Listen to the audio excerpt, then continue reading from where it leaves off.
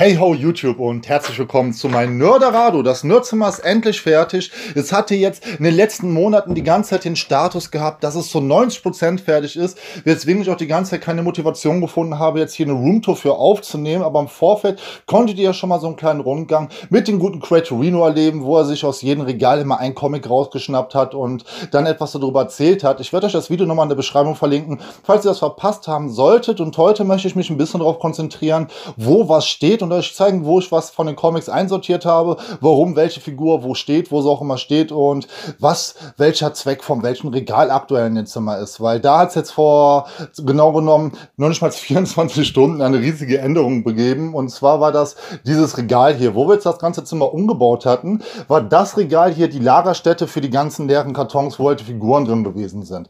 Hintergrund dafür ist bei mir, dass ich halt diese Verpackung meistens so nice finde. Das ganze Design, die Artworks, die auf der Seite drauf sind, wie hier bei den Ghostbusters-Kartons, dass ich das nicht einfach in irgendwelchen Kartons verstauen möchte und am liebsten alles präsentieren würde, mein Zimmer. Allerdings, wie das nun mal so ist, wenn man eine große Sammlung hat, dann kann man irgendwann nicht mehr alles präsentieren, weswegen ich dann jetzt alle Kartons hier rausgeräumt habe mit meiner Frau zusammen und die in andere Kartons gestopft habe, mit die dann im Keller jetzt in Sicherheit lagern können und irgendwann vielleicht nochmal rausgegraben werden, wenn ich mich mal wieder dazu entscheide, eine Figur zu verpacken, weil das ist eine Sache, die mache ich gerne mal, dass ich so ein bisschen rotiere mit den Figuren, die hier überall stehen, dass ich sie gerne mal wieder in die OVP OP reinpacke und dann wieder auspacke, dann wieder einpacke, an die Wand hänge, von der Wand abnehme. Ihr wisst, was ich meine, der typische Struggle. Allerdings hat es jetzt mehr Sinn gemacht, hier die Puzzle reinzupacken. Unter anderem auch dann die Tatooine-Skiff, die zwar hier jetzt nicht so prominent platziert ist und man sieht sie nicht direkt, wenn man ins Zimmer reinkommt. Ich finde aber den Platz, den sie jetzt im Endeffekt gefunden hat, wunderschön, weswegen sie da stehen bleiben wird. Obendrauf ist auch der Voltron jetzt gelandet. Der ist jetzt auch ein paar Mal im Zimmer hin und her gewandert und jetzt thront er so ein bisschen über den Ding. Leider kann ich ihn nicht so aufstellen, wie ich ihn am liebsten aufstellen würde mit dem Schwert nach oben, weil dann ist die Decke doch zu nah und auch die Flügel hinten drauf. Musste ich einklappen, aber trotzdem hat er jetzt hier seinen Platz gefunden. Direkt daneben seht ihr so ein paar Figuren, die sind aus den Anfang 90er, Ende 80er Jahren, sind in Spanien erschienen. Ich finde, die sind unglaublich hässlich, aber die haben irgendwie so einen Kultfaktor und so einen persönlichen Wert, auch wenn ich sie erst irgendwie gefühlt 20 Jahre nach Erscheinung gekauft habe. Es müsste so um die 2012 gewesen sein, irgendwie sowas in den Dreh rum. Im Urlaub für 5 Euro, da wolltest du mal mitnehmen und seitdem stehen sie im Zimmer und wandern immer wieder irgendwo noch unten in die letzte Ecke. Mittlerweile sehe ich es aber dann doch mehr nostalgisch, weil ich mittlerweile auch schon ein paar Jahre bei mir in der Sammlung habe, weswegen sie jetzt halt da oben so berühmt neben den Voltron stehen. Dann geht es direkt weiter mit Aufbewahrungsboxen. Auf die Idee hatte uns der gute Paladin von Tür mit einem seiner Videos gebracht. An der Stelle bist du begrüßt, Digi. Und zwar geht er auch hin und sammelt sein ganzes Sammelsorium an Ersatzteilen, zweiten Köpfen, Waffen und alles, was so Figuren dazu hat, in so Aufbewahrungsboxen, was wir dann jetzt hier auch gemacht haben, wo wir so eine Box haben, wo nur Köpfe drin sind, eine, wo nur Hände drin sind und eine, wo die ganzen Waffen sind. Und das ist dann auch so ein bisschen der Zweck von diesem Regal hier, dass hier so ein paar Sachen gelagert werden, wie zum Beispiel die Kameras für die Livestreams, wo jetzt auch eine PlayStation 5 Kamera daneben liegt, wo ich die Tage auch noch mit Livestreamen möchte. Und hier seht ihr die ganzen Kartons von den Softbox-Lampen, wo man immer ein paar Satzböden braucht, weil die gehen meistens dann kaputt, wenn man es am wenigsten gebrauchen kann. Da drunter noch ein paar Figuren, die am Wandern sind, wie zum Beispiel hier die Weihnachtsfiguren, die jetzt bis Weihnachten irgendwo hinten im Regal verschwinden werden und dann nächstes Jahr Weihnachten wieder ausgegraben werden. Oder hier andere Transformers, die ich noch irgendwann auspacken möchte. Das gleiche gilt auch so ein bisschen mit den Covern, die hier an der Wand zu sehen sind, über die ich gerade eben schon geredet hatte, die jetzt neu an der Wand gelandet sind. Da sind zum einen Lentacular Cover. Ich muss sagen, ich habe glaube ich mittlerweile schönere in der Sammlung drin. Die werden vielleicht nochmal neu eingerahmt. Da sind wir schon wieder beim Thema. Das Zimmer ist an aktueller Stelle mal wieder nur eine Momentaufnahme von dem, was hier so passiert, weil hier wird so oft umgeräumt, dass es sich heute mal gelohnt hat aufzunehmen. Ich werde mit euch in einer Woche steht hier schon irgendwie irgendwo etwas wieder anders, aber ich werde da wieder warten, bis sich da genug gesammelt hat an Sachen, die hier den Platz gewechselt haben, bis sich da wieder eine Roomtour lohnen wird. Auf jeden Fall sind das hier Lentacular Cover, die ich je nachdem noch austauschen möchte.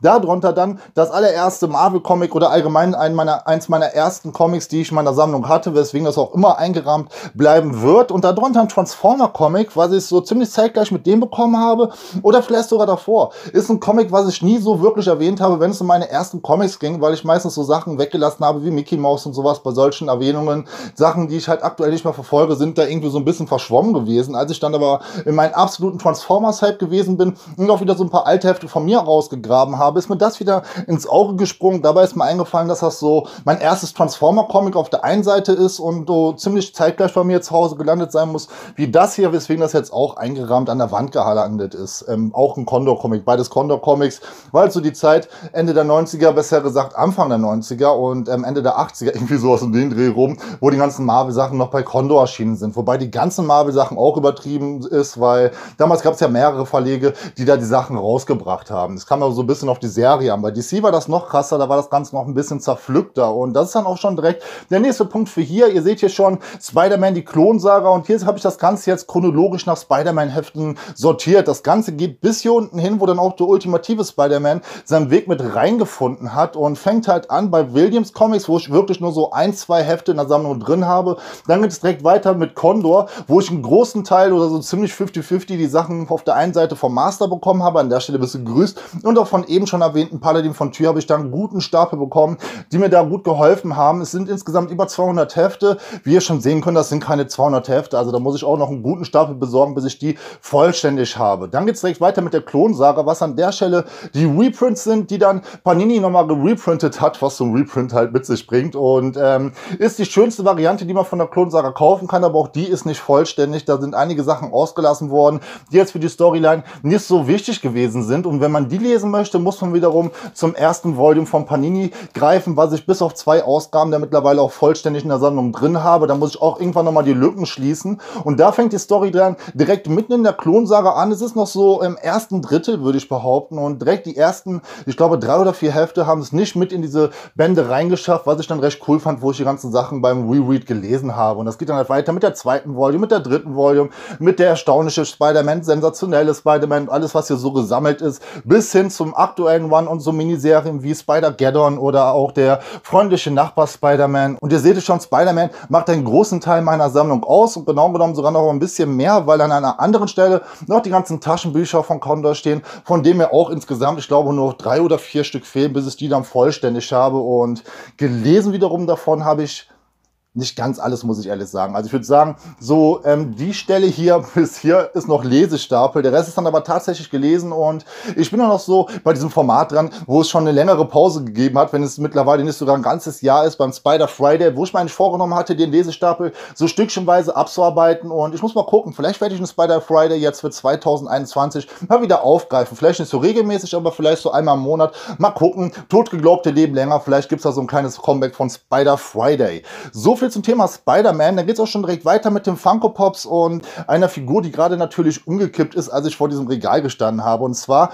die Psycho Rangers, die ich hier recht cool davor platziert habe. Und hört sich so ein bisschen selbstverliebt an, wenn ich erzähle, dass ich die recht cool da platziert habe. Aber ich finde, der Platz sieht total cool aus und die sehen recht belebt aus. Und ich habe sie deswegen vor die Funko Pops gestellt, weil auch wenn die Funko Pops, die hier stehen, recht coole Funko Pops sind und auch Funko Pops sind, die bei mir in der Sammlung bleiben werden, ich bin nicht der größte Funko Pop Fan und ich habe mich so ein bisschen an den Design satt gesehen. Trotz dessen gibt es zwischendurch immer mal wieder Figuren, die ich ganz cool finde, weswegen die auch nicht ganz aus meiner Sammlung verschwinden werden. Unter den Funko Pops und Power Rangers befindet sich dann auch schon direkt meine Justice League Heft und Trade-Serien, Sammlung plus die ganzen Spin-off-Serien wie die Justice League United, Justice League of America, Justice League Odyssey oder auch die Added 2 Serie aus den New 52 mit der Earth 2 Society, was die Nachfolgeserie davon gewesen ist. Also ihr seht es schon so ziemlich thematisch aufeinander aufbauend, was da steht und ich muss ganz ehrlich sagen, ich finde es erstaunlich, dass da meine ganze Justice Heft Seriensammlung in einfach reinpasst, so weil wenn ich meine ganze Sammlung im Kopf durchgehe, habe ich gefühlt übertrieben viel von der Justice League gelesen, aber es passt dann doch alles in einfach rein, weil mit den Jeff Jones und mit den Grant Morrison One habe ich eigentlich schon so ziemlich alles an der Justice League gelesen, was ich irgendwie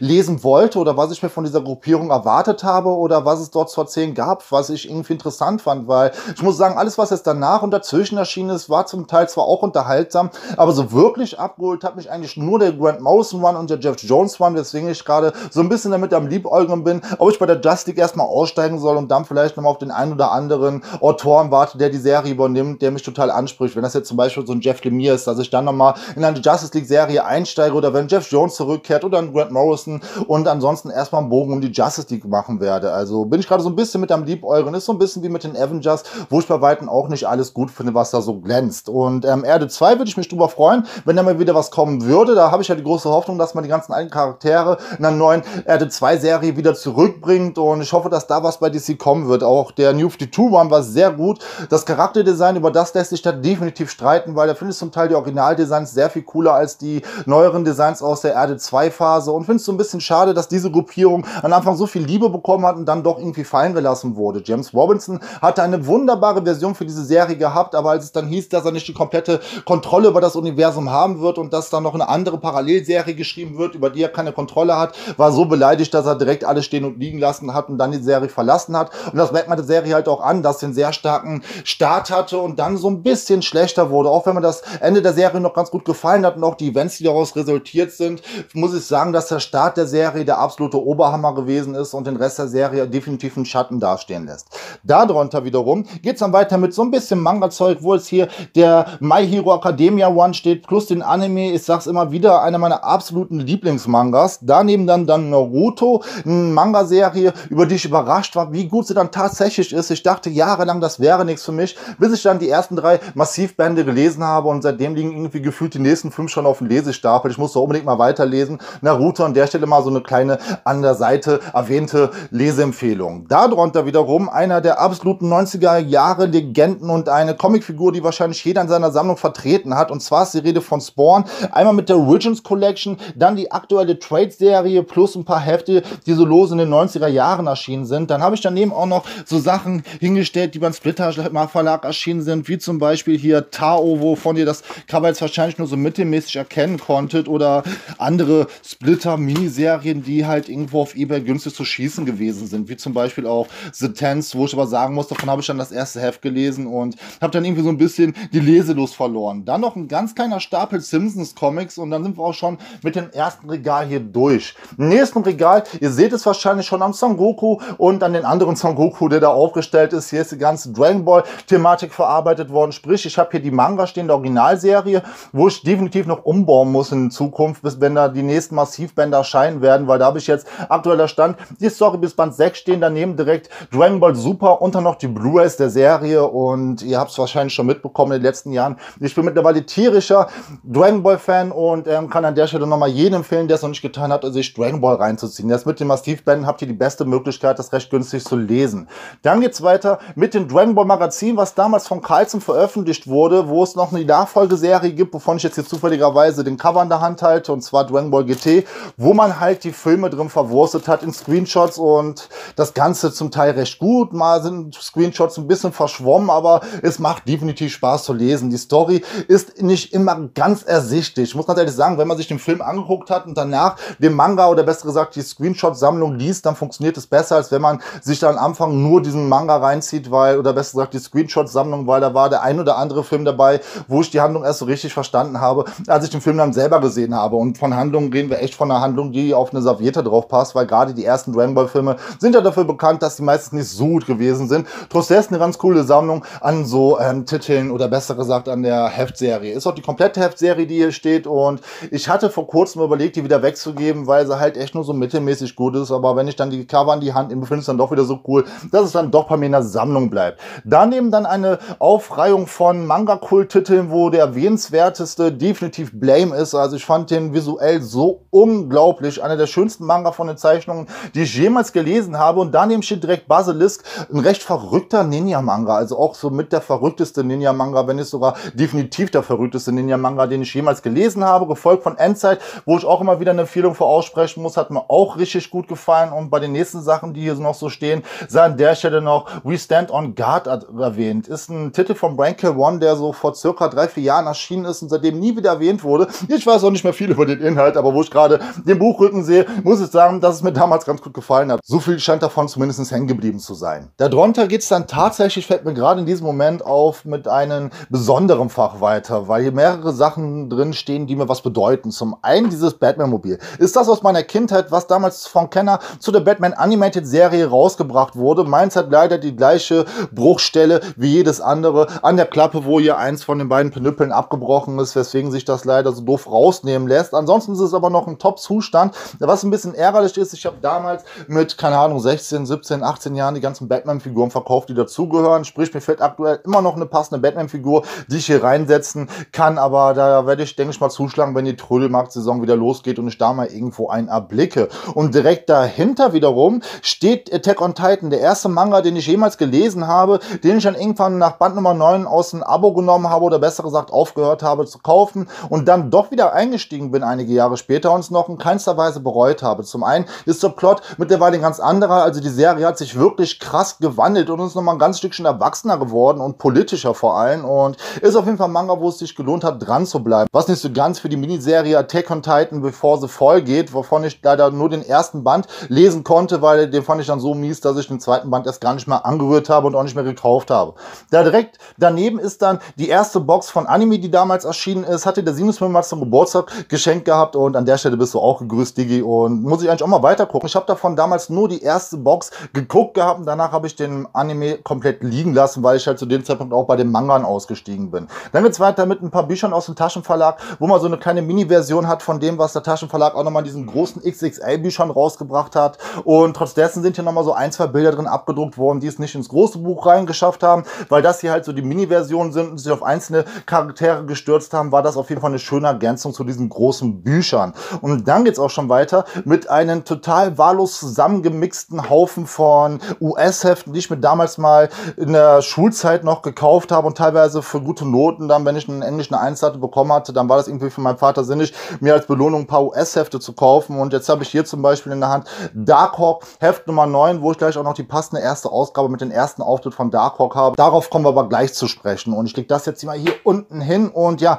wie gesagt, das hier ist so ein recht sinnlos zusammengewürfelter Haufen US-Hefte. Und dann geht's thematisch schon direkt mit den X-Men los. Da habe ich nämlich hier so eine Trade-Sammlung von so Spin-off-Serien wie Waffe X oder X-Force, Rogue und Gambit, die New Mutants und was es da sonst noch so gegeben hat. Und dann geht's unten direkt weiter mit Wolverine, wo ich viel weggegeben habe. Oh mein Gott, bei Wolverine habe ich wirklich viel verkauft, weil die meisten Solo-Serien dann doch mies sind, weswegen das hier tatsächlich alles an Solo-Veröffentlichungen von Wolverine sind, abgesehen von Old Man Logan. Das habe ich dann in meine Old Man-Abteilung reingestellt. Auf die kommen wir aber, denke ich mal, so zum letzten Drittel dieses Videos zu sprechen, weil ich da hinten irgendwo diese Abteilung aufgebaut habe. Neben den guten Wolverine habe ich dann auch schon direkt alles, was ich von den X-Men besitze, was auch tatsächlich überschaubar ist. Das ist diese Heftchensammlung, die so zeitlich angesiedelt bei den Jim Lee X-Men anfängt und aufhört, kurz nach Bendis. Nach Bendis bin ich tatsächlich gar nicht mehr so lange bei den X-Men dran geblieben. Habe noch so ein, zwei Trade-Serien gelesen. Ich glaube, die letzte aktuelle war dann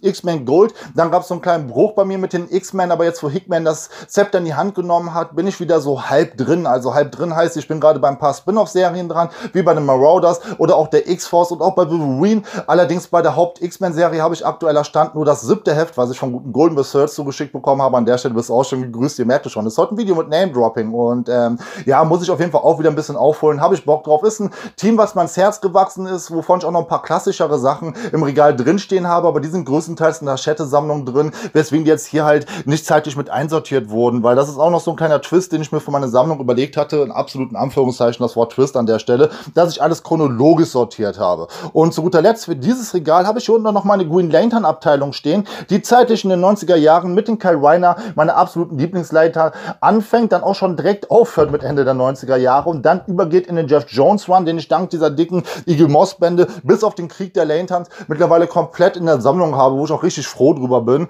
Und ihr merkt es schon, ansonsten ist das Regal halt noch ein bisschen bestückt mit Figuren und was so dazugehört und ist schon fast voll. Wie gesagt, ich werde hier noch ein bisschen umräumen müssen, wenn ich dann halt noch die anderen Dragon Ball Massiv Bände habe und auch das hier oben. Hier sind jetzt zum Beispiel noch zwei Platzhalterkartons. Das ist einmal der hier zu der Netflix Transformers Serie und der zu diesem Star Wars Raumschiff, die beide schon ausgepackt wurden, aber ich fand die beiden Kartons so cool, dass das aktuell die beiden einzigen Leerkartons in diesem Raum sind und ähm, werden auch noch irgendwann weichen. Dahinter habe ich dann jetzt noch so Aufsteller aufgestellt aus Plastik, wo ich dann noch eine zweite Reihe halt sichtbar jetzt machen konnte und das lässt auf jeden Fall so ein paar Sachen jetzt verändern im Zimmer, wo jetzt nach und nach wahrscheinlich noch mehrere zweite Reihen auf den anderen Regalen aufgebaut werden. Ansonsten geht es hier direkt weiter. Das ist noch der letzte Schwenk von dieser Seite, bis wir dann die ganzen Softboxen umbauen müssen. Und zwar seht ihr schon, hier hängen einige eingepackte Figuren, wovon ich auch wieder zum Teil eine vom Zuschauer zum Beispiel geschenkt bekommen habe, wie den hier. Das ist ein X-Men aus der 90er Jahre Serie, wenn es nicht sogar 80er ist, wobei ich mir gerade ziemlich sicher bin, dass der aus den 90ern ist.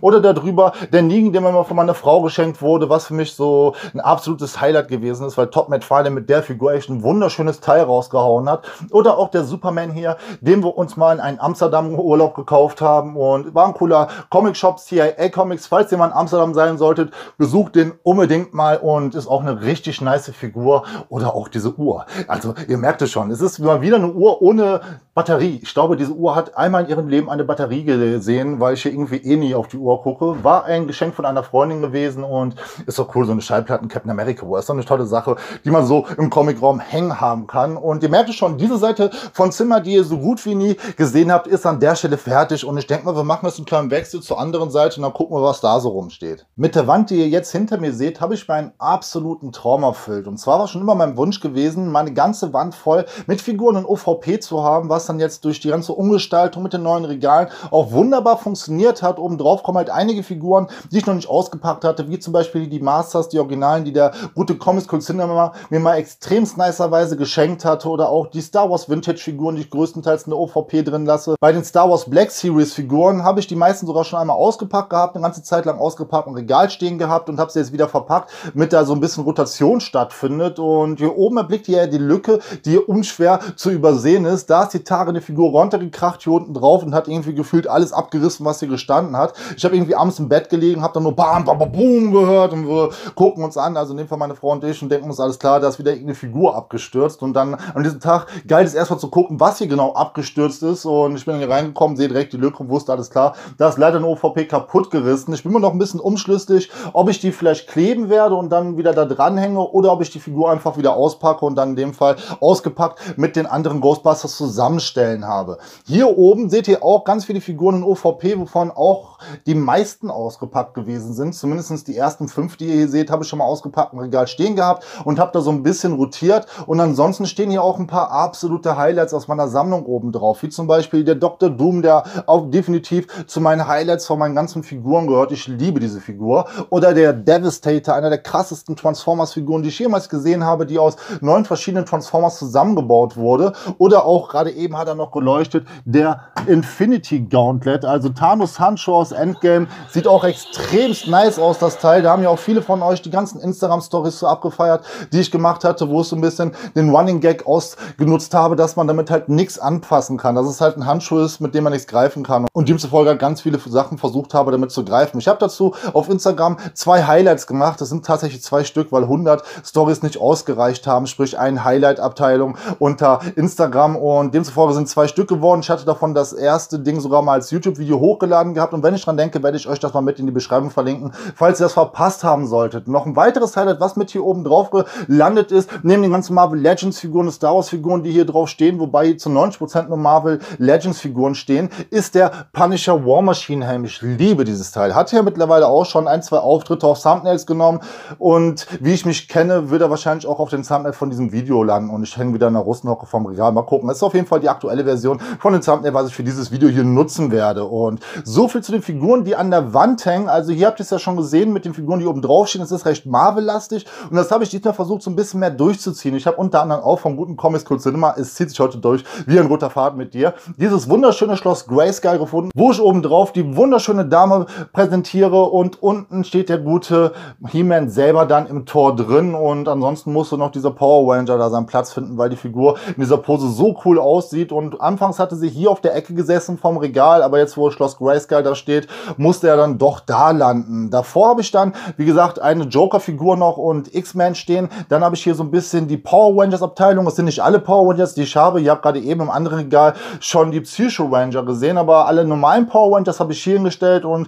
sieht auch recht cool aus. Ich hätte gerne noch so Megasort, den ich dahinter stellen könnte. Also Hasbro, falls ihr dieses Video gucken solltet, bringt mal unbedingt Megasort raus. Daneben wiederum habe ich eine kleine Auswahl an Transformers hingestellt. Ihr seht es schon, ist recht Optimus Prime lastig und ich habe so ein paar Highlights da reingestellt, wie zum Beispiel Soundwave, der absolut einer meiner Lieblingstransformers ist, genauso wie halt auch der gute Megatron, den ihr im Hintergrund seht und auch Bumblebee mag ich. Da finde ich tatsächlich die aktuelle Version aus der Netflix-Serie sehr nice und daneben wiederum finden wir die Ghostbusters, die auch zu meinen absoluten Highlights gehören, wenn das nicht sogar so so von den ganzen Figuren, die ihr hier oben drauf seht, meine Lieblingssammlung ist, die kleine Ghostbusters-Sammlung. Und ich denke mal, ich werde die gute Dame, die von der Wand gekracht ist, jetzt auch noch dazustellen. Und auch noch ein Highlight, ihr merkt schon, hier sind ein paar Highlights am Stehen, ist der Snowspeeder. Den hatte ich jetzt eine ganze Zeit lang ähm, auf der anderen Seite stehen, wo jetzt ein anderes Schloss Grayskull steht, wo wir später zu kommen werden. Und meine Frau hatte die ganze Zeit die Idee, den irgendwie auf so Ständer draufzustellen, dass das Ding halt so aussieht, als wenn es fliegen würde. Jetzt haben wir ein bisschen rumgekramt, haben noch so einen gefunden, es hält.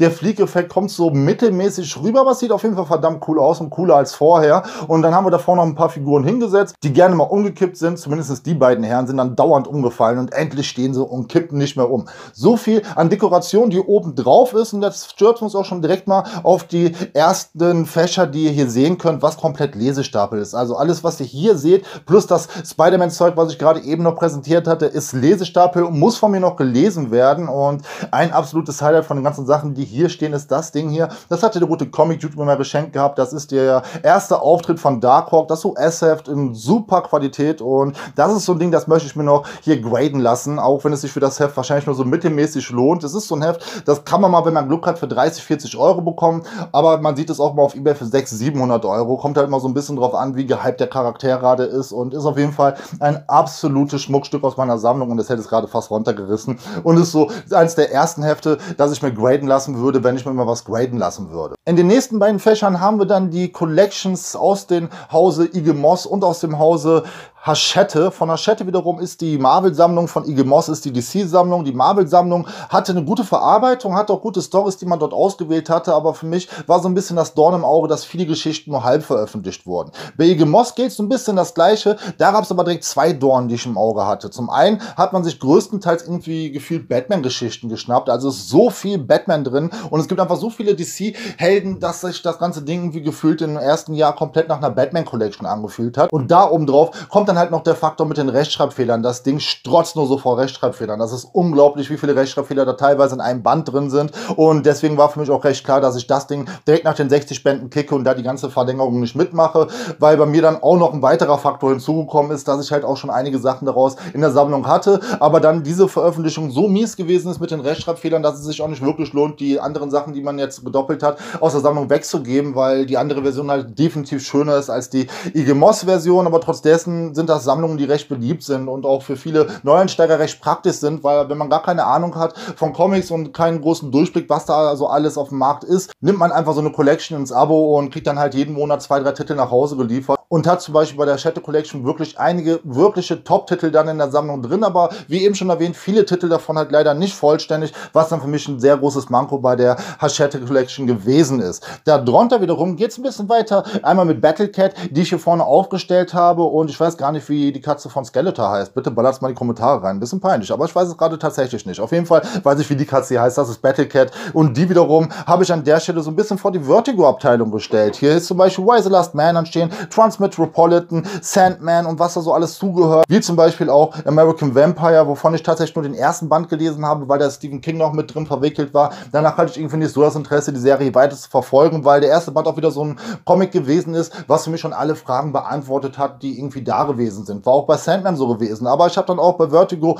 den guten Hellblazer bzw. John Constantine Hellblazer für mich entdeckt, wo es ja gerade auch der Reprint stattfindet von dem Reprint, den ich hier im Regal stehen habe, die Gus Ennis Collection, wovon jetzt mittlerweile schon der dritte oder vierte deutsche Print veröffentlicht wird und das zu guter Recht, weil der One der absolute Burner ist und bei mir dafür gesorgt hat, dass John Constantine einer meiner absoluten Lieblingsfiguren ist. Was ich eben auch schon erwähnt habe, was man jetzt an der Stelle auch hier findet, sind die ganzen Taschenbücher von Spider-Man, die ich aber wirklich gestapelt habe, mit hier so viel wie möglich reinpasst, weil die Buchrücken sind meistens eh nicht so schön, sind halt einfarbig, weswegen ich da halt vierfach und fünffach gestapelt habe, so dass die ganzen Spider-Man Taschenbücher da reinpassen und auch noch ein großer Teil der Rescher Taschenbücher. Das einzige waren Taschenbücher, was da nicht mal mit reingepasst hat, sind so ein, zwei Maxi-Bücher, die ich dann hier in meine Top-Co-Abteilung mit reingepackt habe, wo ihr die ganzen Witchblade und The Darkness Comics findet, wo ich auch ein großer Fanboy von bin, ist so ein Franchise, wo ich recht spät mit eingestiegen bin und dann irgendwie alles nachgekauft habe, was ich davon gefunden habe. Gleich gilt für Aquaman, auch so ein Charakter, von dem ich nie wirklich viel gelesen habe, wo auch wahrscheinlich gar nicht so viel bei mir in der Sammlung landen wird. Aber das, was ich hier stehen habe, feiere ich total ab. Was halt der Jeff Jones One ist, was auch immer so das erste ist, was einem in den letzten Jahren empfohlen wird, wenn es um Aquaman geht. Ansonsten haben wir noch ein bisschen Deadpool stehen, wobei ein bisschen Deadpool zwei solcher Fächer bedeutet oder sagen wir mal besser anderthalb Fächer. Dr. Strange habe ich hier ein bisschen stehen. Dann noch Daredevil, eine Figur, die ich unglaublich abfeiere, wovon auch alles gut ist, was ich hier in diesen einfach drinstehen habe, abgesehen von den Dr. Strange Sachen. Allerdings erscheint aktuell nichts mehr auf Deutsch, weswegen es da auch nicht wirklich mehr wird. Es kam vor kurzem ein Trade raus. Ich kann mal gucken, welcher das ist. Das war dann tatsächlich der Tod von Daredevil. Aber das war auch die letzte deutsche Veröffentlichung und ich weiß nicht, ob da in Zukunft noch mehr von Panini geplant wird. Dazu kommen noch ein paar Indie-Produkte, wie zum Beispiel vom guten Markus Rockstro, der auch mal zu Besuch gewesen ist, die ich hier unten so ein bisschen lose einsortiert habe. Hier sind so ein bisschen die Indie-Projekte gelandet, wie zum Beispiel auch Touch, wo ich auch mit den Zeichner und Autoren in Kontakt gestanden habe, zu dem Zeitpunkt, wo das rausgekommen ist. Ich wollte mich gerade sagen, Kontakt stehe, aber wir haben locker zwei Jahre nicht mehr geschrieben. Aber ihr wisst, was ich meine. Und wenn du das sehen solltest, auch bist du an der Stelle gegrüßt. Auf jeden Fall ist das so ein bisschen die Thematik, die sich hier durchzieht. Dann sind auch noch die Guns of the Galaxy hier gelandet. Eine Gruppierung, die ich unglaublich abfeiere. Und für mich hat sich so ein bisschen herauskristallisiert, dass wenn man nur einen One von den Guardians of the Galaxy in der Sammlung haben möchte, ist an der Stelle Guardians of the Galaxy Krieger des Alls empfohlen. Ist für mich persönlich das Beste, was bis jetzt so von den Guardians geschrieben wurde. Daneben steht dann auch noch die Comics zu Gears of War. Ich bin ja riesiger Gears of War Fan, aber bei aller Fanliebe auch muss ich sagen, dass die Comics halt komplett austauschbar sind. Sind halt recht brutal und auch gut gezeichnet, aber die Story ist absolut nicht der Rede wert. Und damit sind wir eigentlich im Groben und Ganzen hiermit schon fast fertig, wollte ich gerade sagen. Und sehe dann noch, dass hier noch meine Lobo-Abteilung ist. Ich liebe Lobo und Lobo kann man gar oft genug erwähnen. Große Legende der 90er. Richtig schade, dass da gerade keine Ongoing erscheint. Hier habe ich so ein Sammelsorium aus Dino-Heften und den zwei Collection-Bänden, die nochmal von Panini gereprintet wurden. Zumindest wurde versucht von Panini das ganze Ding zu reprinten. Sie haben es dann leider, ich glaube, nach dem dritten oder vierten Band eingestellt und trotz dessen habe ich mir dann irgendwie noch die ersten beiden Bände geholt. Habe Lobo, ich glaube, bis auf ein, zwei Hefte wieder vollständig in der Sammlung drin und dann stehen hier zum Teil auch noch, ein paar Transformers-Comics und Crossover und US-Hefte, die damals so in den 80er und 90er Jahren erschienen sind und damit sind wir dann jetzt tatsächlich fertig mit diesem Regal und uns direkt auf das Regal hinter mir stürzen. Mit dem Regal hinter mir müssten wir im Prinzip ein ganz Stückchen schneller fertig sein als mit den ganzen anderen Regalen, weil hier drin im Prinzip gar nicht so viele Helden stehen wie bis jetzt in den ganzen anderen Regalen, was halt daran liegt, dass Batman und Superman hier drin Einzug gefunden haben. Von Superman habe ich mir so viele Comics,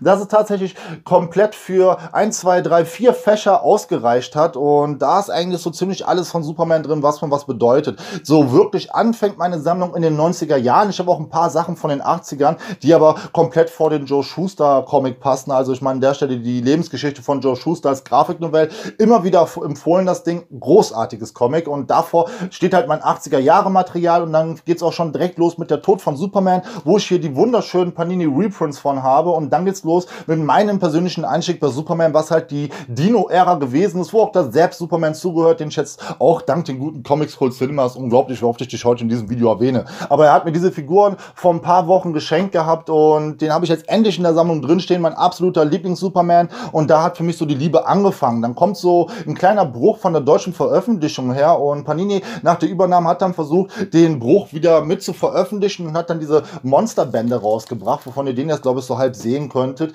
der halt extremst günstig damals gewesen ist, wie die ganzen Monster Editions, die damals bei Panini rausgekommen sind. Allerdings war die Papierqualität unter aller Sau. Also das war so dieses US-Papierqualität, also super dünnes Papier, weswegen man das Format auch irgendwann gekickt hat und durch das Megaband-Format ersetzt hat, was halt bessere Papierqualität hat und deswegen auch gute 6, 7 Euro teurer ist, als es damals die Monster Editions gewesen sind. Und danach geht es auch schon direkt weiter mit so Klassikern wie Genosse Superman, All-Star Superman, Superman, der Mann vom Morgen und dann wieder eine große Lücke an loser Smallville Trade und dann geht's los mit den New 52 und Superman Erde 1 und ab dahin habe ich eigentlich alles, was von Superman erschienen ist. Sprich, ab 2012 lückenlos. Das aus den 90ern, was ich haben wollte, ist auch in meiner Sammlung drin und dann in den 80er Jahre Superman bin ich jetzt nicht so großartig interessiert. Da habe ich auch ein, zwei lose Trades, die ich halt, wie gesagt, hier einsortiert habe oder die auch bei IG Moss dabei gewesen sind und das reicht mir tatsächlich in 80er Jahre Superman-Material. Nach den ganzen Superman-Abteilungen habe ich dann hier noch äh, meine Crossover-Abteilung oder besser gesagt Team-Up-Serie mit Superman und zwar einmal Batman Superman, Superman Wonder Woman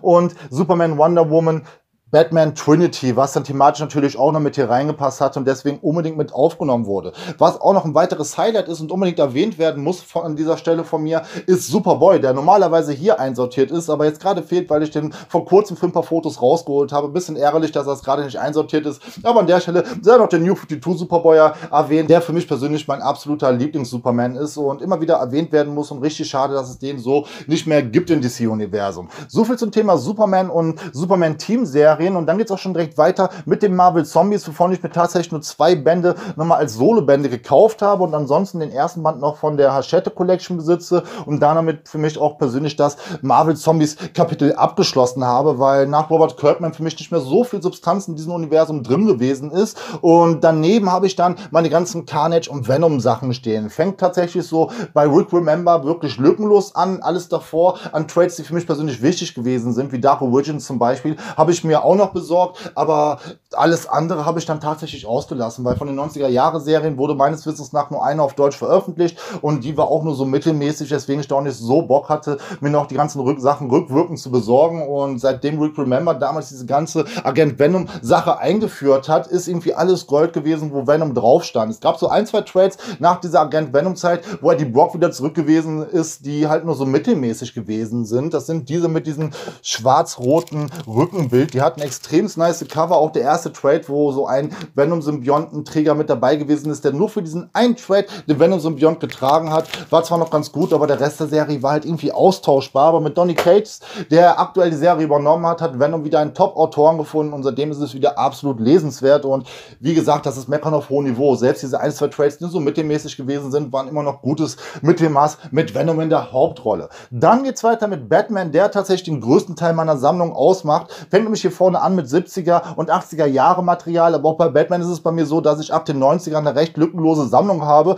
oder zumindest die Sachen in der Sammlung habe, die ich gerne besitzen würde. Und halt noch obendrauf so ein paar Crossover-Sachen, die ich mit hier einsortiert habe, wie Batman Turtles, was jetzt chronologisch komplett falsch einsortiert ist, was für mich aber sinnig da am besten hingepasst hat. Oder auch die Comics, die zur Animated-Serie erschienen sind, was dann für mich auch tatsächlich der Anfang mit Batman gewesen ist. Halt diese Batman Animated-Serie, Batman The Dark Knight Returns war auch eins meiner ersten Comics, aber davon abgesehen war es halt die Animated-Serie, die mich dazu gebracht hat, mir diese ganzen Dino-Hefte zu kaufen, wo ich auch noch mein allererstes in der Sammlung drin habe, was Heft Nummer 3 gewesen ist, was ich mir damals vom Taschengeld für 3,90 Mark gekauft habe. Unglaublich günstig, circa 2 Euro. Kann man sich heute gar nicht mehr vorstellen. Für zwei US-Hefte. Unglaublich guter Umrechnungskurs. Auf jeden Fall ist da die Leidenschaft losgegangen und wurde dann auch belohnt mit den ganzen Sachen, die in der Zwischenzeit erschienen sind. Batman Nightfall ist dann wieder so eine Sache, die habe ich erst beim Reprint nachgeholt. Habe ich damals in den 90ern nicht gelesen, weil mir damals die Carlson Trades nicht so gut gefallen haben und vom Taschengeld her konnte ich mir die auch nicht immer leisten, deswegen ich da komplett drauf verzichtet hatte. Bis auf ein, zwei Ausnahmen, die ich dann irgendwie mal zum Geburtstag geschenkt bekommen habe. Und mir haben persönlich auch am besten die Batman Comics gefallen, die beim Dino Verlag erschienen sind. Und das, was bei Harper erschienen ist, wie zum Beispiel das Lange Halloween, war für mich damals nicht so leicht zugänglich, weil ich zum einen nicht überall die Hefte oder besser gesagt die Prestige-Ausgaben gefunden habe. Und zum anderen hatte ich das Ganze so ein bisschen lückenhaft gelesen gehabt, weswegen da kein richtiger Lösefluss aufgekommen ist. Und ich persönlich deswegen das Gefühl hatte, dass der Dino Verlag sich damals alle Top-Lizenzen von Batman geschnappt hat oder alle guten Comics und dass Carlson und die Harper und das rausbringen würden, was so links und rechts ein bisschen abfällt. Heutzutage weiß ich, dass E. Harper und Carlson damals großartige Geschichten rausgebracht hatten und gerade mit Nightfall und auch mit Dark Knight Returns hat der Carlson Verlag damals zwei absolute Top-Werke gehabt und E. Harper wiederum hatte mit das lange Halloween und Dark Victory auch zwei absolute Top-Comics am Start gehabt und die haben definitiv gute Sachen damals rausgebracht und auch wenn man sich die Sachen rückblickend anguckt von E. Harper, die haben damals eine sehr gute Arbeit am Batman gemacht. Dann geht's weiter mit so ein paar anderen losgelösten Sachen wie Gotham Central und ein, zwei andere Miniserien wie Batman Joker von Azraello und Bermerjo oder All-Star Batman, die ich alle so vor den New 52 eingesiedelt habe. Und dann kam ja mal eine große Comicpause, zumindest hier in der Sammlung drin, die ich nicht wirklich aufgefüllt habe. Aber wo ich dann wieder komplett eingestiegen bin, war halt der Zeitpunkt, wo Grant Morrison gerade Batman übernommen hat, war für mich wieder der Zeitpunkt gewesen, wo ich wieder Comics gelesen hatte und das war ein glücklicher Zufall. Einer meiner mittlerweile am meisten abgefeiertsten Autoren und der beste Batman-One war zu der Zeit am Laufen und ich bin genau zu dem Zeitpunkt eingestiegen, konnte mir zu dem Zeitpunkt auch noch recht bequem den Trade nachkaufen, der mir noch gefehlt hat, was der erste Band von Batman und Robin Reborn gewesen ist, der zwischenzeitlich extremst teuer auf Ebay gehandelt wurde. Da es aber mittlerweile die Batman Collection gibt und der Band dort auch reprintet wurde, lege ich meine Hand dafür ins Feuer, dass auch der Preis vom normalen Band mittlerweile extremst gefallen sein müsste. Und ab dann habe ich auch alles lückenlos. Das müsste 2010 gewesen sein. Seitdem habe ich so ziemlich jedes Batman-Comic gekauft oder als Rezensionsmaterial zugeschickt bekommen, was seitdem veröffentlicht wurde. Und Batman recht lückenlose Sammlung, weswegen sich das hier nochmal so komplett durchzieht und bis hierhin geht. Und da ist dann auch die aktuelle Batman-Heft-Serie einsortiert und was vom Batman Detective Comics auch erscheinen wird, muss ich mir tatsächlich noch nachkaufen, weil da habe ich die Heftserie gekickt. Ist die erste Batman-Heftserie, die ich gekickt habe seit 2010. Liegt aber daran, dass ich mit den Lesen nicht mehr hinterhergekommen bin. Da möchte ich definitiv noch auf die Trades zugreifen, weil die Serie hat mir richtig gut gefallen. Nach Batman habe ich dann, um das Ganze ein bisschen aufzulockern, die Mark Miller Collection dazwischen gepackt. Also es ist jetzt nicht wirklich die Mark Miller Collection, aber es sind die Sachen, die ich von Mark Miller gesammelt habe und noch in der Sammlung drin behalten habe. Plus das Black Label, wo ich auch die Superman-Titel mit da reingestellt habe und das, obwohl Superman eigentlich oben steht. Aber ich habe mir vorgenommen, das Black Label komplett an einer Stelle zu sammeln, egal was von welchem Charakter erscheinen wird, möchte ich alles vom Black Label zusammenstehen haben, dass ich da mal alle Black Label Titel gleich griffbereit habe. Bei Mark Miller ist so die Sache, ich feiere Mark Miller, es gibt einige Comics, von denen ich, denen ich sogar übertrieben feiere. Es gibt aber so viele Autoren, die dann nochmal eine ganze Schippe besser finde als Mark Miller, dass ich der Meinung bin, dass man Mark Miller gar nicht mehr so oft erwähnen muss. Mittlerweile kennt jeder Mark Miller, über die Titel wurde auch schon so viel erzählt, auch hier auf diesem Kanal, dass wir Mark Miller an der Stelle einfach mal überspringen und sagen, dass hier meine Mark Miller Comics stehen. Danach kommen wiederum meine ganzen Batman Sidekick Serien. Also ich lese jetzt bei weitem nicht jede Batman Sidekick Serie, weil es davon einfach viel zu viele gibt und gerade Batman Charakter ist, der irgendwie gefühlt 100 Sidekicks hat. Trotz sind einige bei mir in der Sammlung gelandet und davon das absolute Highlight ist Red Hood und die Outlaws. Eine Serie, die mit den New 52 gestartet ist und seitdem fest in meiner Sammlung verankert ist. Ich muss ganz ehrlich sagen, dass der aktuelle Trade, der einfach nur Red Hood The Outlaw heißt, noch fehlt, aber den werde ich mir noch nachkaufen und ist eine Serie, die absolut abfeierbar ist und auf Ebay unglaublich teuer gehandelt wird. Ich glaube, der zweite oder dritte Band ist es, der geht gerne mal für 90 bis 150 Euro auf Ebay weg und das ist so eine Sache, die wird wahrscheinlich irgendwann mal im Preis fallen, falls Panini davon mal einen Reprint rausbringen sollte. Und dann geht es thematisch weiter mit Grayson, Nightwing und danach habe ich dann direkt die Titans und Teen Titans einsortiert, weil ich das so sinnig empfunden habe, weil in den aktuellen Teen Titans halt Damien Wayne mit drin ist und bei den Titans halt Robin oder Nightwing mit dabei gewesen ist, deswegen ich das von Übergang recht gut gelöst empfunden habe. Danach geht es direkt weiter mit dem Punisher, wo ich jetzt auch so ein halbes Regalfach voll habe. Also es fängt so ungefähr hinterm Hulk an, also hinter der Hulk-Figur mit der wunderschönen Gitarre in der Hand. Die Gitarre wiederum war auch ein Geschenk gewesen. Die hatte mir der gute Dudes Comic Corner mal geschenkt gehabt. An der Stelle bist du gegrüßt, Digi, und ist eine sehr nice Gitarre und die Figur hat irgendwie gefühlt immer auf diese Gitarre gewartet, weil wenn ihr euch genau den Gesichtsausdruck von ihm anguckt, er sieht so aus, als wenn er sich wirklich auf sein Gitarrenspiel konzentrieren würde und finde ich extrem lustig. Auf jeden Fall dahinter der Punisher, wo sich für mich am Anfang rauskristallisiert hat, dass da auch nicht alles Gold ist, was glänzt, weil beim Punisher einige Sachen veröffentlicht wurden, die halt nur so Mittelmaß gewesen sind. Und falls ihr persönlich mal unbedingt was vom Punisher lesen wolltet und euch da nach so einem roten Faden fragt, dem man halt nachgehen könnte, wenn es um gute Punisher-Comics geht, sei an der Stelle gesagt, wenn Matthew Rosenberg draufsteht oder Gus Ennis, könnt ihr problemlos zugreifen und bekommt definitiv ein gutes Punisher-Comic geliefert. Nach dem Punisher geht es noch schon direkt weiter mit dem Flash, wo ich leider große Lücken drin habe. Ich habe einiges, was Mark Wade geschrieben hat, finde davon aber bei weitem nicht alles gut. Von Jeff Jones habe ich so vier, fünf Trades, da fehlt mir leider auch noch ein bisschen, weil das, was der gute Herr bei Flash abgerissen hat, hat mir richtig gut gefallen. Also richtig los. Bei mir persönlich geht es dann halt auch im Jahre 2012 mit der New 52 Serie und seitdem habe ich alles lückenlos im Regal stehen. Ich fand die New 52 Serie ganz gut, ich habe sie zwischendurch auch richtig hart abgefeiert, aber die DC Rebirth Serie ist nochmal um Klassen besser und sollte jeder von euch lesen, der es noch nicht getan hat.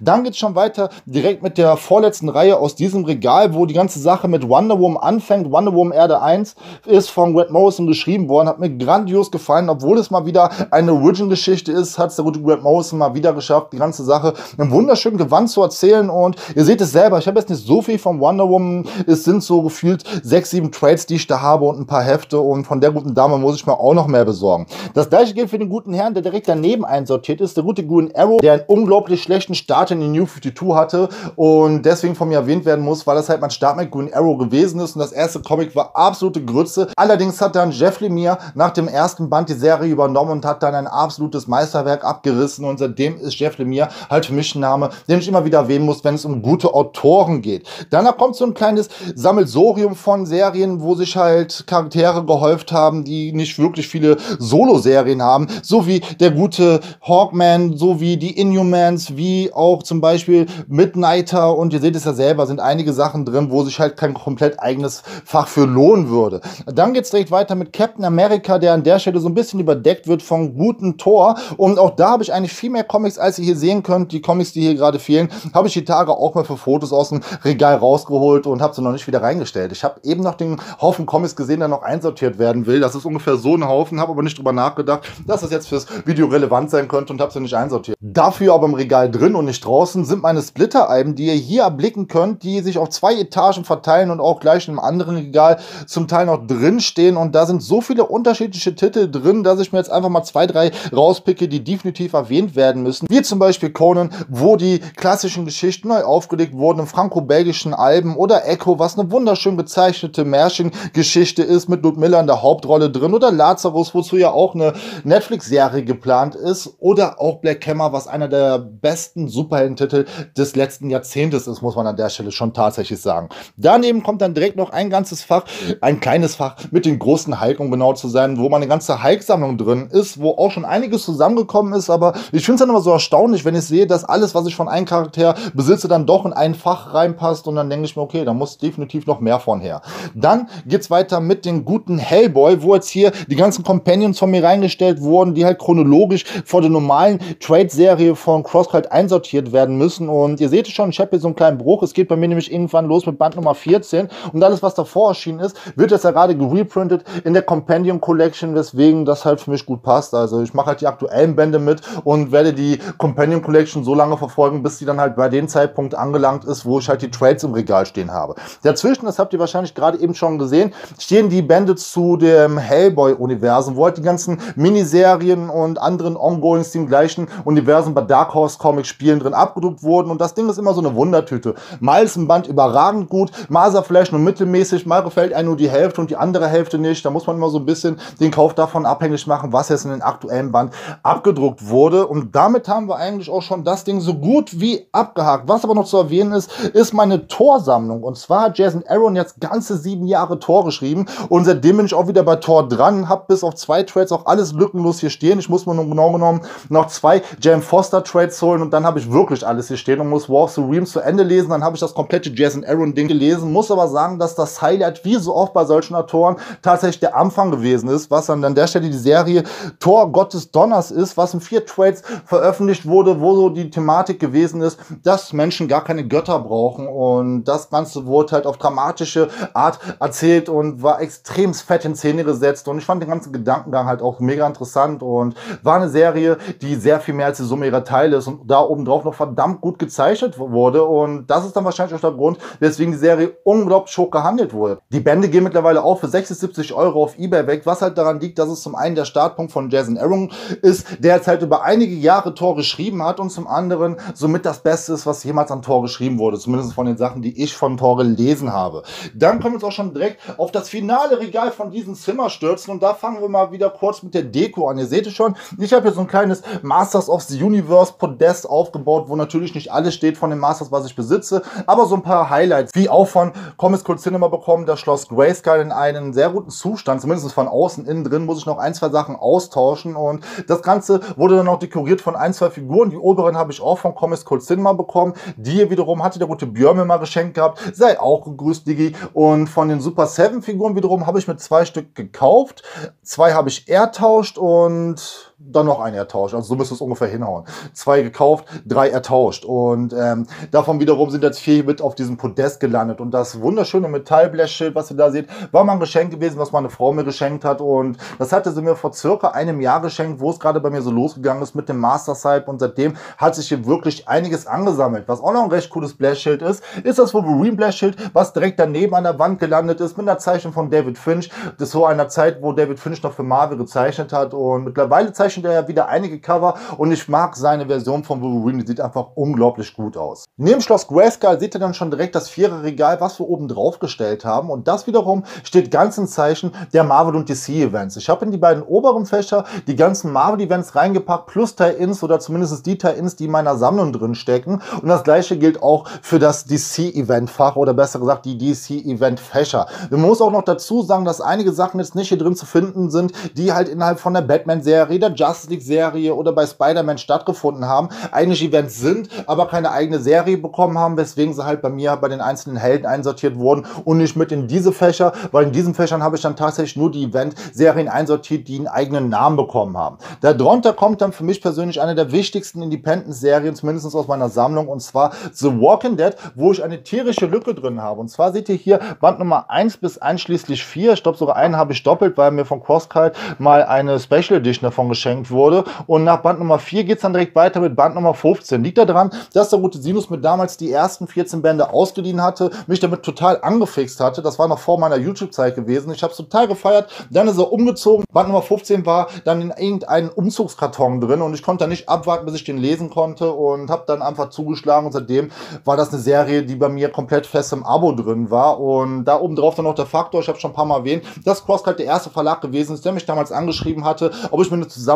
vorstellen könnte und deswegen ist das für mich so ein doppelter Kreis, der geschlossen wird. Zum einen die erste Independent-Serie, die ich so wirklich abgefeiert habe bei meinem Wiedereinstieg im Jahre 2010, als ich wieder angefangen habe, Comics zu lesen, zum anderen halt bei dem Verlag, der zuerst mit mir zusammengearbeitet hat und da oben drauf auch noch der Verlag, der mir dann das Interview mit Charlie Adler ermöglicht hat, wo ich auch hier dieses wunderschöne Autogramm mit Zeichnung von ihm in Liegen lebt bekommen habe und immer wieder eine Erwähnung wert. Das Interview ist so ein bisschen cringig, weil ich so gut wie gar kein Englisch spreche und Sinus auch nicht, aber Charlie Adler, weswegen das Ganze so ein bisschen hölperig von dann ging und tatsächlich den ein oder anderen unfreiwillig komischen Moment drin hat. Ich werde euch das Interview auch mal in der Beschreibung verlinken. Falls ihr das noch nicht gesehen haben solltet, könnt ihr gerne mal reingucken und bitte ähm, bedenkt, ich kann kein Englisch, wenn ihr euch das ganze Interview reinguckt. Nach The Walking Dead habe ich da meine ganzen 90er Jahre Crossover einsortiert, die damals bei Dino und auch bei Marvel Deutschland erschienen sind und habe dann auch neuere Sachen mit einsortiert in dieses Fach, wie zum Beispiel die Power Rangers, die gar kein Crossover sind, aber die sind mit im Crossover-Fach gelandet. Ansonsten, wie gesagt, sind ja eigentlich nur diese Crossover drin und Marvel gegen DC-Geschichten und alles, was so dazugehört, wo das ein oder andere richtig gute dabei gewesen ist, aber auch die ein oder andere Sache, die nicht so gut gewesen ist. Das Ganze ist dann gefolgt von Iron Man, wo ich auch so seit circa 2009 eine recht lückenlose Sammlung habe, weil wo ich wieder eingestiegen bin im Jahre 2010, kommt man relativ gut nachkaufen, was da erschienen ist, zumindest die ersten beiden Bände von Mike Fraction, dann kommt man eine berühmte Pause, weil der dritte Band halt unglaublich teuer gehandelt wurde und dann ab Band Nummer 7, was dann an der Stelle vielleicht sogar schon 2011 gewesen ist, ja Mai 2011, habe ich eigentlich alles lückenlos, was von Iron Man seitdem erschienen ist und ist auch ein Charakter, der mir wirklich ans Herz gewachsen ist und deswegen vielleicht von mir auch meine Anfangsphase, wo ich wieder angefangen habe, Comics zu lesen, so gehypt wurde, weil ich halt auch die Filme so unglaublich abgefeiert habe. Daneben sind wir dann bei Watchmen angelangt. Before Watchmen habe ich direkt dazu gepackt. Auch Doomsday Clock direkt dahinter, dass das insgesamt eine runde Sache macht. Und das Ganze wird dann gefolgt von dem Masters of the Universe, wo auch immer wieder dieser wunderschöne Reprint von der Retro-Fabrik empfohlen wurde. Wunderschöne Aufmachung, Überformat und ist echt eine der schönsten He-Man und Masters of the Universe Comics, die ich besitze. Und damit sind wir dann auch schon fertig mit der oberen Reihe. Dann können wir direkt weitermachen mit der nächsten, wo ich einiges an Independent-Titeln stehen habe, wie zum Beispiel aus dem Schreiber- und Leserverlag Rachel Rising oder Echo oder auch Motor Girl, was alles Titel von Terry Moore sind, den ich wirklich abfeier. Daneben noch so ein paar kleinere Veröffentlichungen, wie zum Beispiel von Alpha Lag, die sechste Waffe oder der Goldene Kompass von Carlson und so ein paar Trades, die halt so einzeln ins Regal gestellt wurden, wie zum Beispiel auch Crimsons. Eine der besten Vampirgeschichten, wenn nicht sogar die beste Vampirgeschichte, die jemals veröffentlicht wurde, aus den 90er Jahren und ich merke es jetzt schon nach diesem Video, werde ich wieder einige Comics zurück ins Regal räumen müssen. Daneben kommt dann meine Old Man Abteilung. Ich habe es eben schon mal erwähnt gehabt, wo wir bei Wolverine waren. Hier habe ich Old Man Logan einsortiert. Daneben dann die Trade-Serie, wo sie angefangen haben, die Kuh zu melken und jede Menge neue Geschichten mit Old Man Logan erzählt haben. Old Man Quill, Old Man Hawkeye und was alles dazugehört, habe ich direkt daneben einsortiert. Daneben sind wir dann auch schon bei Black Widow angelangt und so bei ein paar Titeln, die damals noch unter 100% Marvel erschienen sind oder zumindest das Design der Buchrücken weiter fortgeführt haben, weswegen ich die so ein bisschen nebeneinander gestellt habe. Weil es sind halt alles Titel, die damals bei Marvel Max, meine ich, tatsächlich erschienen sind, nicht bei 100% Marvel und die halt damals alles dieses Buchrückendesign hatten. Aber ab einem gewissen Zeitpunkt hatte sich dann Panini dazu entschieden, die Marvel Max Nummerierung einzustellen, weil es da mittlerweile eigentlich gar keine Marvel Max Serie mehr sind, weil Marvel Max in den USA eingestampft wurde und haben dann halt die Nummerierung sein lassen, haben aber das Design beibehalten. Das sieht man ganz gut bei Moonlight, wo die eine Serie noch mit der Nummerierung aufgehört hatte und dann die nächste überging. Ich wollte euch das gerade zeigen, weiß aber gerade nicht, wo meine Moonlight Comics stehen. Aber die werde ich dann wahrscheinlich schmerzhaft finden, sobald dieses Video zu Ende ist. Es ist so oft so, dass man im Video irgendwas zeigen möchte, oder zumindest ich, und es dann in den Augenblick nicht finde. Auf jeden Fall alles so kleinere Serien mit kleineren Charakteren, die jetzt nicht so populär sind, die halt da zusammen in ein Fach reingestopft wurden. Dann geht es auch schon direkt weiter weiter mit Star Wars, wo ich hier so ein paar Trades stehen habe und die Heftserie bis Heft Nummer 50 circa. Das Ganze gefolgt mit ein paar losen Veröffentlichungen aus Marvel Max und zwei Black Panther Trades und dann geht es auch schon direkt weiter mit den Teenage Mutant Ninja Turtles, dem Reboot, das die im Jahre, ich glaube 2013 oder 2014 bekommen haben und daneben steht dann auch schon direkt Osari, ein Franchise, was ich noch gar nicht so lange kenne oder besser gesagt ein Charakter, den ich noch gar nicht so lange kenne, der im deutschsprachigen Raum vom Dantes Verlag veröffentlicht wird, die da einen wirklich richtig guten Job machen. Und zu guter Letzt für dieses Video sind wir dann auch schon bei den letzten beiden Fächern angelangt oder besser gesagt letzten beiden Reihen, wo jede Menge Cross-Cult-Miniserien oder auch Ongoings drinstehen, die irgendwann mal beendet wurden, weswegen das auch wieder komplett den Rahmen sprengen würde. Wenn ich zu jeder einzelnen Serie was sagen würde, muss aber trotz dessen ein, zwei Highlights rauspicken, wie zum Beispiel Invincible, was eine unglaublich gute Superhelden-Serie von den Autoren von The Walking Dead, dem guten Robert Kirkman ist, oder auch Paper Girls von Brian K. One, was mir richtig gut gefallen hat. Oder Weisen, was eine italienische Serie ist, die leider in Deutschland nicht komplett veröffentlicht wurde. Insgesamt gab es drei Staffeln vom Weisen im deutschsprachigen Raum. Aufgrund der Verkaufszahlen sind leider nur die ersten beiden Staffeln rausgekommen. Die dritte wurde leider nie auf Deutsch veröffentlicht und wenn ich Italienisch könnte, würde ich sie definitiv nachholen. Was dann auch noch einen äh, überraschend kleinen Platz meiner Sammlung ausmacht, sind meine Avengers Comics, was von hier bis hierhin dann tatsächlich auch alles ist, was ich von den Avengers besitze. Irgendwie waren dann doch nicht mehr Sachen an Avengers Comics dabei, die es bei mir in die Comics-Sammlung reingeschafft haben. Und damit sind wir durch. Also merkt ihr schon, jede Menge Comics hier stehen, jede Menge Merchandise und jede Menge Sachen, die ich jetzt noch weiter darüber erzählen könnte. Also wir können das locker noch zwei, drei Stunden weitermachen und ich könnte noch weiter über die ganzen Comics erzählen. Aber ich glaube, wir sind jetzt bestimmt schon bei 30 Minuten angelangt am Videozeit und ich denke mal, das ist lang genug für eine Roomtour. Ich hoffe, ich konnte euch einen guten Eindruck darüber geben, was jetzt hier gerade so im Zimmer aktuell steht und wie wir gerade alles so dekoriert haben. Ich lege auch meine Hand dafür ins Feuer, dass es in einem Monat wieder komplett komplett anders hier drin aussehen wird und ich hier vielleicht wieder alles runtergeräumt habe. Wie gerade eben schon bei der Aufnahme sind wieder einige Figuren umgekippt. Es bleibt einfach der Running Gag. Sprich, das, was ihr gerade gesehen habt, ist eine Momentaufnahme und in einem Monat sieht es wahrscheinlich schon wieder komplett anders aus. Ihr könnt das ja mal ein bisschen im Auge behalten in den nächsten YouTube-Livestreams oder auch in den nächsten Videos. Das war's dann von mir. Ballert doch bitte mal in die Kommentare rein, was so von den ganzen Comics und Merchandise-Artikeln, die ich hier gerade in die Kamera gehalten habe und über die ich hier ein bisschen schwadroniert habe, euer absolutes Highlight ist und noch obendrauf, was euer absolutes Highlight aus eurer Comic- und Figuren- und DVD- und Videospielsammlung ist oder so das Sammlerstück von euch zu Hause ist, was ihr am meisten abfeiert. Bitte unbedingt mal in die Kommentare reinballern. Ansonsten würde ich mich darüber freuen, wenn ihr bei der guten Kamerafrau, der guten Comic-Tante auf Instagram und auf YouTube vorbeischauen würdet. Ich ballere euch beide Links mal in die Beschreibung rein. Und wenn ihr schon mal dabei seid, könnt ihr gerne noch auf meinen Instagram vorbeischauen. Daumen nach oben und ein Abo da lassen. Dann sehen wir uns beim nächsten Mal, Jungs und Mädels. Haut, da rein.